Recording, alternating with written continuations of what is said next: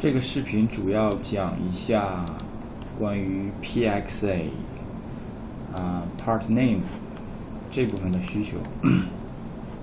这部分需求呢，实际上，嗯，是一直在更新状态。然后今天上午跟一天啊沟通了之后呢，啊得到一个大概初步的框架，啊 稍微有一些复杂，所以。录制一个视频啊，记录一下。啊，首先讲一下这个 PXA 中 Part Name 的作用。嗯，这个 PXA 实际上是基于 XML 的一种标记类语言。然后呢，这个里面啊，按照 PXA 的语法呢，实际上。啊，有很多种标签，然后其中有一个有一个标签属性叫做 part name，搜一下叫 part name。OK，看到在当前 px 下呢，有这样两呃两个 part name，一个是 image，另一个是 label。啊，part name 的含义。也就是说，PXA 人员设计设计这个属性的他们的目的是什么？目的是呃用这个标签去对应嗯仪表屏幕上的一个固定的显示区域吧，所以它叫 Part Name。呃，意味着什么呢？因为它这个仪表可能是由双屏构成的，也就是说。为了显示一个区域，它为了呃有可能是实现 3D 效果，所以它用两块屏去啊共同实现这个效果。那么这两块屏上面当然会有不同的 object，也就是不同的这种这种标签，但是因为他们又共同合作去显示一个区域，所以呢，他们。可能会有一个共同的 part name，也就是通过这种方式呢，来呃标识出这个具体的呃位置，就是仪表上具体的这个区域位置。啊，OK，这就是它的实际上的一个作用。嗯，然后接下来呢，就是要说一下这个框架中的设计，这个是也是。啊，法国人一天设计的这个这个方案，就是为了对应前面所讲到的这个它的目的嘛。Part name 是这样的目的，那么它这个我们设计的 prefab 的框架叫如何对应？啊，实际上主要是它设计了两个方法，一个是 set part state 啊。underscore，然后接上 part name，另一个是呃，另一个是 forward call to part name。这个呃，它有一个这样的需求，嗯，需求是这样的，呃，part name，here，OK，这样两个方法吧。啊，所以还是讲一下它这个设计的目的。嗯，这个 这个就是实际上是要接下来讲第三点啊，第三点这个目的，我就一起在这里讲。这个在我们 Prefab 的上层框架有一个模块叫做 Decoration。这个相当于有呃，应该是渲染渲染部分，就是它直接会调用我们 prefab 生成的文件。嗯，这个模块呢，实实际上呃是只用 part name 来作为访问我们 prefab 的唯一接口，也就是说，它它不去访问其他的这些呃生成的这些方法。比如说，我们我们对应 PXA 生成很多方法，但是呢，它不调这个方法，只调我们的 part name。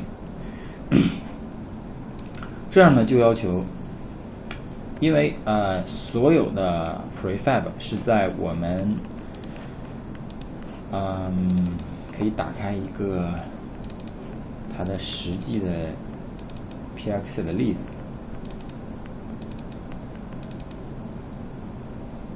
就比如说 use case 十吧，比如说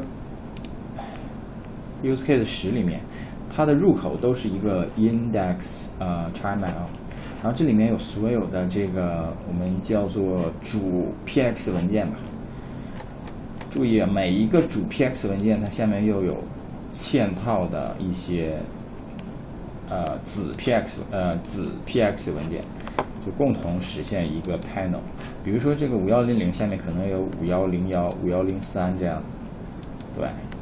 然后呢，因为前面说了 decoration，呃，会对应每一个这个 panel 啊，它都有一个 decoration 嘛，它只调用这个 prefab 的 part name 接口，这就意味着我们要在这个 prefab 里面生成它。下面所有的啊，包括他孩子的啊 part name 的接口，这样的话，我们的这个上层的 decoration 才有呃，才可以说通过通过访问它的这个呃接口去实现说调用它所有层级 PXA 的一个 part name 啊。举个例子，比如说这个五幺零零，这个是一个主 PXA 文件，那么它们它下面有一个子的 PXA，也就是这个 href 下面这个五幺零幺，呃，所以呢，如果这个五幺零幺下面也有 part name 呢，那我们要也生成一个对应的接口，在五幺零零这个 prefab 里面，OK，原则是这个原则，那么具体怎么实现呢？具体怎么生成呢？要对应一个呃呃一天刚才的一个邮件，我找一下，嗯，OK，这里，嗯，首先它是嗯，首先应该是我觉得是先讲这个 forward call to part name，这个里面包含了呃递归呃就是找所有的这个。这个 panel 下面所有 prefab，然后它分几种情况，一种情况呢是，啊，for each part name in the current prefab，嗯，呃，就是说，一种情况就是，呃，当前就是说，首先要生成这个，啊，当前 prefab 的 part name 接口，那么我们就。直接这样接当前当前的这个 part name，比如说啊，比如说这个 image，那我们实际上就就是接的就是这个它的 part name，对吧？就是 forward call to，然后下划线，然后 part name，然后这里面注意啊，这是 id，id，也就是说啊，这个里面。有 ID 的话，那就接 ID；没有 ID，那就接 anonymous，然后接它的这个行数 line 啊 fifty eight，right？OK，嗯，这是单一的单一的 part name，就是对应每个 part name 就对应呃每个 part name 对应每呃对应一个这样的函数。如果是多个 part name 共用一个呃，就是说多个 object，它们有。同一个 part name，那这里面呢，实际上，呃，应该也是只只对应这个一个一个这个函数。嗯，接下来往下看，接下来就是看它这个子 PXA 中，嗯，in the nested prefab，就是如果也是有这个，嗯，这个这个这个这个 part name 的话呢，那么我们也对应生成一个这样的，就是一模一样，但注意，呃。这里这里是呃函数名是一样，但是这里面就会是，首先因为你要访问他呃孩子的这个这个 part name，所以你你就得先找到他这个孩子 prefab 的指针，然后再去呃 get 才能 get 到他孩子的 part name，对吧？OK，就是这样，然后呃，同理呢，可能我们这个嵌套不止一层啊，可能有好几层的 prefab，那么也是就有几个，那这里面就对应几个嵌套的指针，嗯。然后这种这种就是说，呃，最后他说了一下，如果是多个 object 对应同一个 part name，那怎么办呢？那就他会把所有的呃 part name 都放在这一个函数里面，放在一个函数里面，然后呢，也是对应的，哎，它就相当于把这几个合起来，对吧？合到这一个函数里面。这个是第一个 forward call to。forward call to 呢，它意义在于，就是说我们的 decoration 来呃调用我们 part name 的时候呢，只要调用这一个啊 forward call to，它就会把它所有层级对应这个这个区域的，也就是同一 part name 的所有的这个方法都调一遍。比如说它有一个 set visible，对吧？那它调用这个函数，然后它用这种什么 C 加加的这种这种方法重车什么重载啊，或者这个具体的我也不太清楚。但是它后面可以嗯，就通过这个函数呢，就可以 set visible，把所有它下面相关的 prefab 的对应的那个 part name 的元素都 set visible。OK。啊，这就是这个函数这个方法的意义所在。同理呢，这个 set part state，呃，它的意义其实跟前面这个也是一样的，就是说，也是每个 decoration 只要调用这一个呃 set state 就可以把所有相关的这个 part name 的 state 都设置好。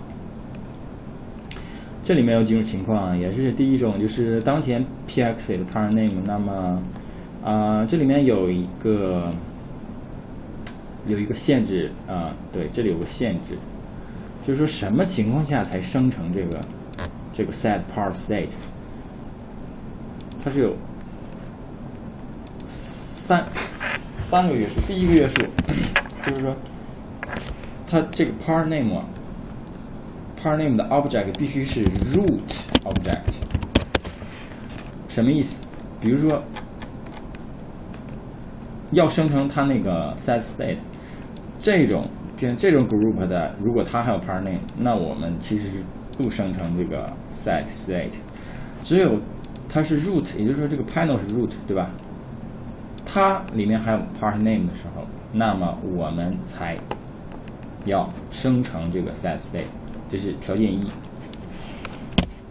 条件二，必须这里面有 part name，这个没什么好说，就是说这个当前标签里一定得有一个属性叫 part name。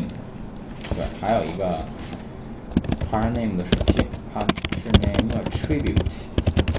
第三个呢是当前这个，就是说它这个 root 元素包含这个下面一定得有 state，说一定得他去 check 有这种这种标签，哎，有这种 state，这样的时候他才去生成这个 set state。